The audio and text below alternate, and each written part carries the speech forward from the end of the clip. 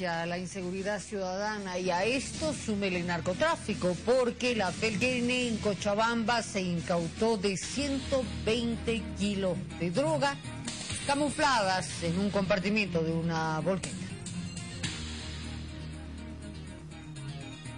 Grave, sin duda. Más de 120 kilos de droga incautó la Fuerza Especial de Lucha contra el Narcotráfico escondidos en un compartimiento de una volqueta. Sucedió este fin de semana cuando los efectivos policiales realizaban allanamientos a viviendas en el municipio de Sacaba. Se presume que la droga tenía como destino el departamento de Santa Cruz. Del lugar se ha logrado secuestrar 129 kilos 985 gramos de cocaína. Del operativo se detuvo a tres personas, entre hombres y mujeres, todos ellos familiares. Los mismos fueron puestos a disposición del Ministerio Público. En las primeras investigaciones se conocen que esta volqueta iba a ser, eh, se iba a dirigir al departamento de Santa Cruz, presuntamente al sector de San Julián,